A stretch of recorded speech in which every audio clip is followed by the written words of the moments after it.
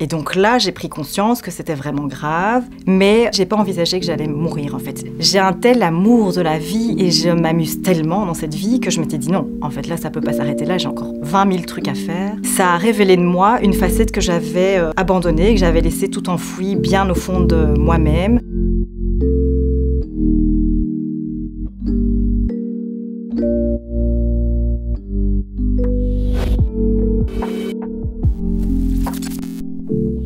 Quand j'ai 24 ans, je rentre d'un Erasmus que j'ai passé à Madrid, qui était certainement une des plus jolies périodes de ma vie, pleine d'insouciance, pleine de naïveté. Je suis rentrée un petit peu euh, avec ce sentiment d'être la reine du monde. Ma vie professionnelle allait commencer. On m'avait proposé un super poste chez LVMH, plein de strass et paillettes, c'était vraiment chouette. Donc, avant de commencer à rentrer dans cette vie professionnelle, je me dis que je vais passer un chouette moment de déconnexion au Yucatan, au Mexique. Et là, en fait, je me retrouve en fin de séjour avec des gourmes partout sur le dos. Et donc, en rentrant, on m'emmène en, catastrophe euh, à l'unité euh, tropicale d'une euh, clinique bruxelloise. J'avais la dengue, mais ça n'expliquait pas en fait tous les autres symptômes. J'étais très fatiguée j'avais une fièvre inexpliquée. En faisant un scanner, on se rend compte que, comme dirait le médecin qui m'a vu à ce moment-là, que j'ai un gros kyste euh, sur le rein. Et on me dit, il va falloir vous transférer d'urgence, ici on ne peut pas vous traiter. Là, je suis reçue en urgence par un, par un chirurgien qui euh, m'annonce de but en blanc qu'on va devoir m'enlever ce rein. Et donc je ne comprends pas comment je suis passée d'un kyste. Pour moi, un kyste, c'est une petite boule que tu as sur la main. On te l'enlève, c'est vite fait, c'est pas, un amas de graisse, ça va, voilà. On ne t'enlève pas le rein pour autant. Puis le rein, c'est un organe euh, qui est vitale. Donc tout d'un coup, je prends un peu conscience de ce qui se passe et en fait pas tellement non plus. Et puis là, les propos qui suivent sont un petit peu compliqués à, gérer parce que je me souviens, je suis avec mon papa et, euh, et, là, il me dit non, non, on va vous enlever le rein, mais c'est parce que vous avez une, une, une tumeur. Il n'y a pas le mot cancer qui est euh, prononcé, donc moi je comprends toujours pas ce que j'ai. Je me dis une tumeur, ok. Je pense qu'à 24 ans, il n'y a pas tellement de gens qui pensent qu'une tumeur c'est cancéreux. On on pense pas à ça en fait. C'est ça qui est chouette, c'est qu'en fait à 24 ans, on, on, pense pas à, demain je vais mourir. Je comprends plus tard que euh, voilà, j'ai un cancer euh, du rein, qui est assez rare en fait pour une femme qui plus est à 24 ans. Je crois que j'étais tellement dans un déni et dans un état de choc que je me rends pas compte de ce qui m'arrive. Pourtant, je reste quand même un mois à l'hôpital. Je peux pas manger au début, je peux pas boire. On, enlever un rein, ça fait vraiment mal, mais je réalise pas tellement ce qui m'arrive. Je me dis juste, ok, fais ton truc, et puis après, euh, tu reprends ta vie comme, comme elle était, en fait, comme tu l'avais laissée. Plus tard, je me sens pas très bien. Je venais de faire des examens de contrôle et là, euh, bah, j'apprends que j'ai une récidive sur, euh, sur une partie de l'intestin qu'il va falloir opérer. Donc voilà, là on m'enlève une partie de l'intestin, on m'enlève euh, quelques trucs. Je ressors de là dans le même état que la première fois, c'est-à-dire bon, très en colère, mais toujours dans le même déni.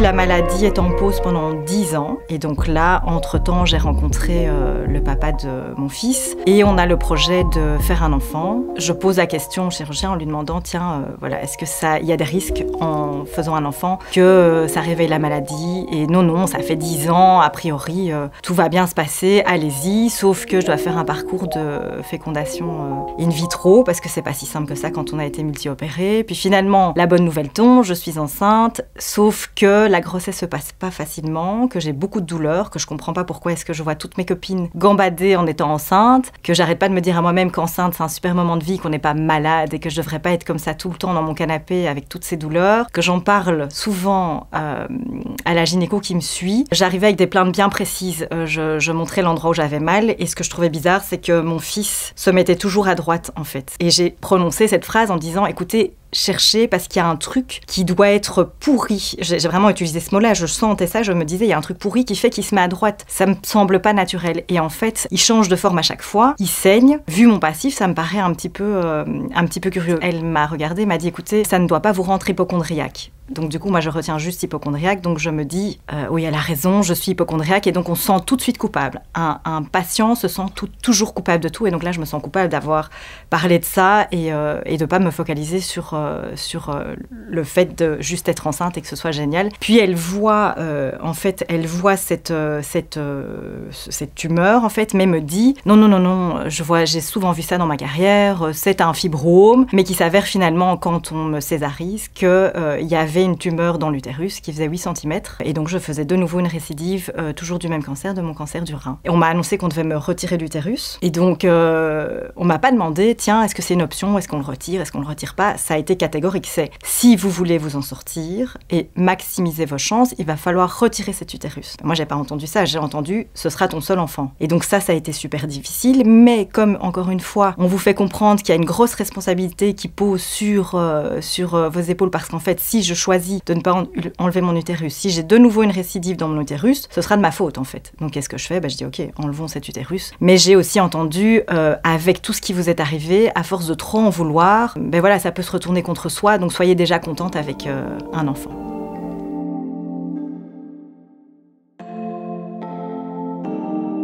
Je me suis pas rendu compte que c'était possible que j'y passe en fait. C'est simplement à un moment donné, quand je discutais avec le personnel soignant, que j'ai dit tiens, euh, voilà comment ça va se passer, vous m'anesthésiez, puis quoi? Quelqu'un a eu cette phrase un peu assassine et m'a dit mais je ne sais pas en fait vous promettre que vous allez vous réveiller. Et donc là, j'ai pris conscience que c'était vraiment grave, mais euh, j'ai pas envisagé que j'allais mourir en fait. J'ai un tel amour de la vie et je m'amuse tellement dans cette vie que je m'étais dit non, en fait là ça peut pas s'arrêter là, j'ai encore 20 000 trucs à faire. Je suis sur mon lit d'hôpital. Je venais de me faire euh, opérer de ma récidive et euh, je sentais déjà qu'il y avait quelque chose qui se jouait en moi, c'est-à-dire que je sentais que le milieu dans lequel j'avais évolué avant, ça me correspondait moins. Ça a révélé de moi une facette que j'avais euh, abandonnée, que j'avais laissée tout enfouie bien au fond de moi-même. J'aurais voulu faire des études de psychologie. Moi, je viens d'une famille de scientifiques et donc quand j'ai annoncé que je voulais faire des études de psychologie, je pense que l'attitude corporelle, il n'y avait même pas besoin de mots, était tellement forte que j'ai ravalé mon idée et que je me suis dit non, ok, je vais prendre un, chemin, un chemin un peu plus classique et puis on verra plus tard. En fait, ça fait 16 euh, ans que je côtoie la maladie. J'ai tellement envie de transmettre à tous ces gens. Je me retrouvais pas dans tout ce qu'on connaissait, groupe de parole, c'est pas mon truc, j'ai pas participé à des groupes de parole, donc je me suis demandé comment je pourrais capitaliser là-dessus. Et en fait, avec toutes ces réflexions en tête, je suis tombée sur un article qui parlait de l'université des patients. Et en fait, cette université, c'est une université qui propose un cursus où on t'apprend à accompagner un autre patient en ayant eu toi un, épisode avec euh, la maladie. Et donc ça m'a paru évident que c'était ça que j'avais envie de faire. Et donc je suis repartie à Paris pour un an et je me suis formée euh, à la Sorbonne.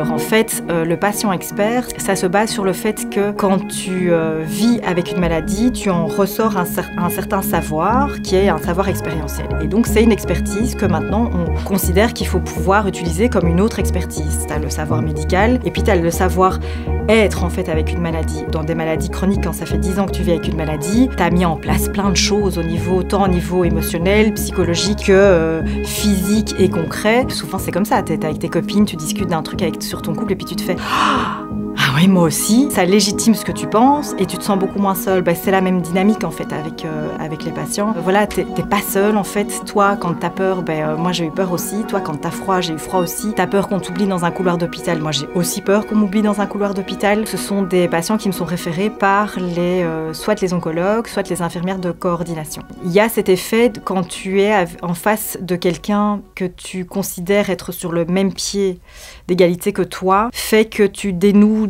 la langue beaucoup plus facilement. Donc il y a des choses très intimes qui se jouent et ça pour rien au monde je le, je le briserai. Donc du coup il est clair dès le départ que c'est des choses qui restent confidentielles. Souvent les blocages c'est euh, sur les traitements parce que ça fait peur, parce qu'il y a beaucoup d'effets secondaires, parce qu'on n'a pas envie d'abîmer sa qualité de vie. Donc il y a des craintes mais souvent juste de légitimer ces craintes ça permet d'aller plus loin en fait. Moi ce que j'ai vécu comme euh, blocage qui m'a fait défaut c'est que quand j'ai fait ma deuxième récidive j'ai été demandé un second avis dans un autre hôpital. Et là, l'avis était pas du tout le même que l'avis qu'on m'avait donné euh, précédemment. Et donc moi, je me suis retrouvée seule face à ces questionnements. Et ça, euh, ce moment où tu es toute seule face à tes questions, moi, c'est ça que j'ai trouvé euh, difficile. Quand on est malade, on est tout le temps coupable, en fait. On se sent tout le temps coupable. Coupable de, de faire souffrir les gens autour de nous, coupable de ne pas comprendre ce qu'on est en train de nous raconter, coupable de ne pas prendre un traitement parce qu'on n'a pas envie, en fait. Par exemple, je pense à l'hormonothérapie qui revient souvent, en fait, dans les discussions, c'est pas un traitement anodin en fait. Alors oui, quand on est médecin, on est focus sur le résultat, mais il y a tout ce qui va autour, il y a toutes les conséquences de ce genre de traitement, il faut pouvoir les entendre. c'est vraiment ça, c'est entendre le projet de vie de la personne qu'on a en face de soi. Et moi, en l'occurrence, mon projet de vie, c'était de devenir maman. Donc ça voulait dire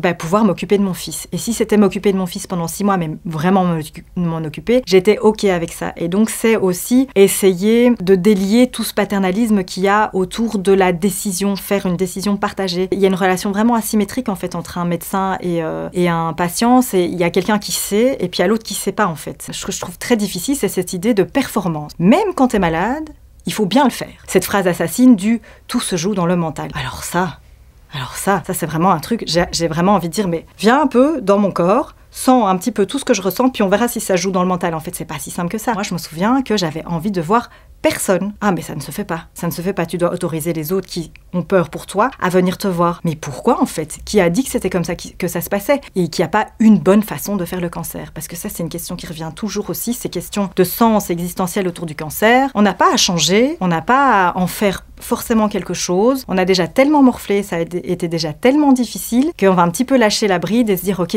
maintenant bah, je vais vraiment faire ce que je veux, surtout en fait. La première patiente en fait que, que j'ai suivie à l'institut, qui en fait savait qu'elle allait euh, partir et qui un jour m'a appelé, euh, je me souviens très bien, c'était le 21 juillet, il y avait euh, personne, les rues étaient toutes calmes et elle me dit voilà je, je sens que je vais partir et elle a voulu faire une photo de mon visage parce qu'elle m'a dit je voudrais avoir ton visage bien imprimé avant d'y aller. Et maintenant, on va se dire au revoir. Et toi, ce sera dans pour longtemps, mais je sais que maintenant, on va se dire au revoir parce qu'on se reverra. Ça, c'est des moments.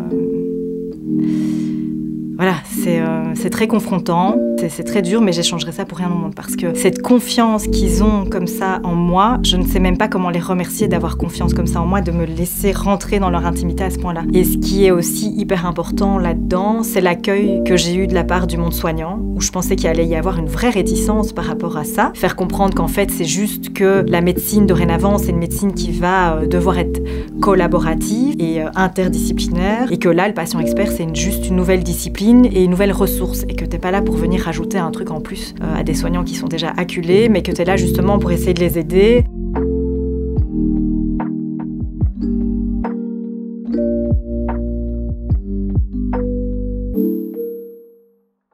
Que tu as un cancer, tu as un instinct de survie qui fait que tu vas te battre pour rester en vie. Moi, je me souviens de ces moments où j'étais sur mon lit d'hôpital, la seule chose que je souhaitais, c'est de pouvoir marcher en rue sans avoir mal. Et en fait, quand c'est difficile, je me souviens juste de ça, de la chance que c'est de pouvoir se lever sans avoir mal. Moi, je me lève souvent en me disant, dans des moments très particuliers d'une vie, et surtout de la vie de mon fils, je me dis jusqu'à quand en fait? Quand il est rentré en première, son, en primaire, son, premier jour, là, je, suis allée le, le, conduire, je me suis retrouvée dans la voiture et je me suis dit, ah, ok, je, je suis à 6 ans là, je suis à 6 ans c'est chouette en fait. J'y suis arrivée. je suis à ces 6 ans et peut-être qu'il n'y aura pas de 7 ans. Je, voilà, je me rends bien compte que la probabilité que je continue comme ça, bah, elle n'est pas, pas grande. Et ça fait que, tu vois, c'est très difficile de vivre avec ça, mais en même temps, bah, il faut bien compenser quelque part la dureté de, de, de, cette réalité avec le fait que ça va donner une teinte aux choses que tu vis qui est différente en fait. Je suis fière de, de montrer à mon fils qu'on est enfermé dans rien, on reste quand même maître de tout ça et qu'on peut décider de de l'endroit qui n'est plus confortable pour nous.